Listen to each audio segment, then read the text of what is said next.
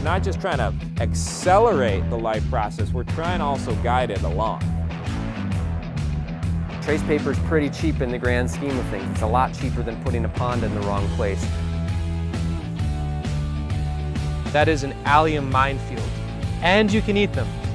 One way to do that is simply to make little swales that catch most of the water and convey it very slowly out to the ridges.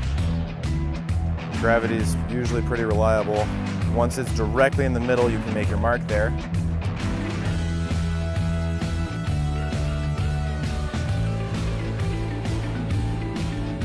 We want you guys to leave here gasping for air in a lot of ways with more questions and some and quite a number of things that hopefully you didn't quite catch while you're here rather than okay I got all that